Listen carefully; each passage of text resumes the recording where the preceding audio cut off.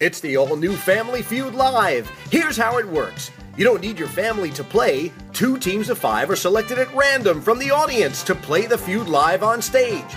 The winning team splits a cash prize. Then, two new people play Fast Money for an even bigger cash prize.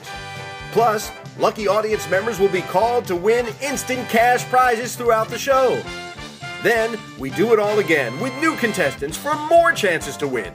Don't forget, every audience member has a chance to win right from their seat with a play along card that they get when they register before the show. But that's not all. One lucky audience member is randomly selected to play an exciting new game for a chance at $10,000 in cash.